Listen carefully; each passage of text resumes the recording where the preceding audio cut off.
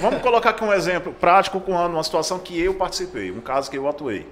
É, a gente foi acionado para uma ocorrência de homicídio na, no, no, local aqui em Fortaleza e quando a gente chegou naquele local, a, a, a, o relato que tinha né, era de que a vítima passou um carro e jogaram o corpo na rua e foram embora. O relato foi esse. Aí é que entra aquela história que o perito vai analisar a cena do crime para saber se realmente aquele fato se deu daquela forma. Antigamente, como eu falava, né, a gente não tinha as provas, a, a prova era muito muito fraca. Você não tinha técnica, você não tinha prova científica. Com o advento da criminalística, se utilizando das ciências para você, da, da, física, da química, da biologia, para compor, você poder compor um, um conjunto de, de elementos para você analisar uma cena de crime, aí a coisa melhorou. Né? E antigamente a prova era baseada em quê? Prova testemunhal.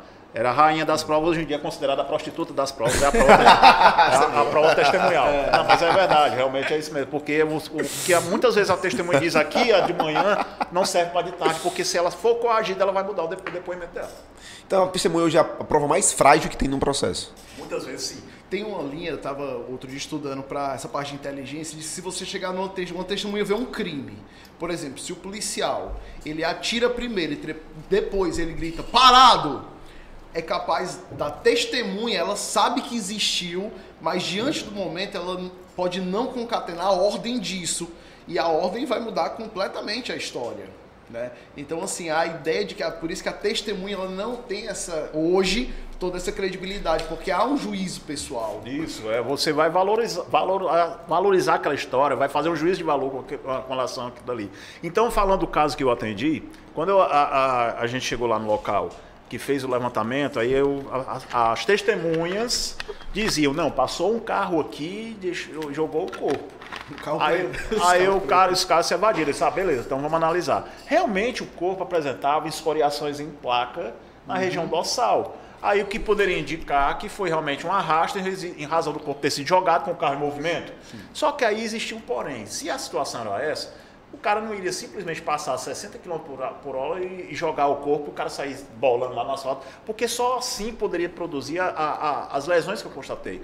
Que as lesões eram lesões em placa, mas elas se estendiam por toda a região do dorso. Tá, o que seria lesão em placa? É uma, é uma. Quando você tem atrito da pele sobre superfície abrasiva, você cria. Entendi. Descama a região da epiderme, ela é arrancada. Arranhões, né? Fica marcada. Quando você cai de moto aí, fica todo arranhado nas todo costas. Todo gera algumas queimaduras, né? Inclusive. Uhum. Então é só aquilo ali. Então era compatível com arrastamento sobre a superfície abrasiva do pavimento. Só que aí eu não achei muito exagerado aquele, aquele arrastamento ali daquela forma. E a vítima tinha sido é, morta a tiros, realmente, né? Havia perfurações a bala. Então, depois que eu terminei o levantamento ali naquele corpo, eu fui fazer um levantamento no perímetro do local. Analisar mais algumas coisas. E do outro lado da rua, eu analisei e encontrei uma, uma, uma mancha compatível com sangue lavado. Alguém, alguém tinha acabado de lavar aquele ambiente. E era do outro lado da rua, não tinha nada a ver onde estava o corpo.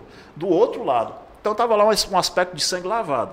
Ah, peraí, vamos ver aqui. Aí eu olhei, vou fazer o teste. Peguei um teste que a gente utiliza, que é um, um teste imunocromatográfico chamado FECACUT. A gente coleta uma amostra daquele sangue, faz uma análise ali, eu, no local mesmo, o FECACUT vai dizer se aqui dali se trata de sangue humano.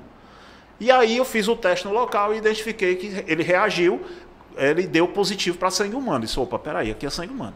Aí fui procurando mais vestígios, aí no local tinha um bequinho estreito, e lá a, a topografia do local é subida, e o bequinho subindo aqui, eu entrei nesse bequinho e fui dar uma olhada lá e mais uma, uma mancha com aspecto de sangue lavado, bem clara. Fiz novamente o teste, deu positivo para sangue humano. Então eu chamei a equipe do DHPP e os policiais estavam lá e disseram, vamos subir aqui porque tem mais coisa para cá. Então a gente subiu. Lá na frente, as manchas, a gente encontrou novamente uma outra mancha que indicava sangue lavado, muito pequena. Então eu fui lá, coletei, deu positivo, beleza. Só que mais para frente não tinha mais nada, terminava lá. As amostras não se apresentavam em mais nenhum local. Aí o que é que eu fiz? Coletei mais uma amostra uhum. com suave e coletei uma amostra da vítima. Mandei fazer o DNA, solicitei o DNA. O DNA bateu que aquele sangue ali era da vítima. Ou seja, a história que a, a, a população falou né, as testemunhas de que passou um carro lá e jogou o corpo, era balela. Na verdade, o corpo foi arrastado daquele local onde iniciava as manchas de sangue, daí porque as marcas das escoriações em placa na região dorsal. Foram arrastados Foi pelo chão? Ele foi arrastado por uma distância de aproximadamente uns 20, 30 metros, na descida desse bequinho estreito, que era uma, uma, uma comunidade lá, né? No meio, lá, né, nesse bairro. E ele foi arrastado de lá e com certeza deve ter chegado alguma ordem. Alguém deve ter dito, não, fala aqui que foi o carro que passou e jogou aqui. Só que aí não contava que a gente fosse fazer o levantamento mais apurado do local.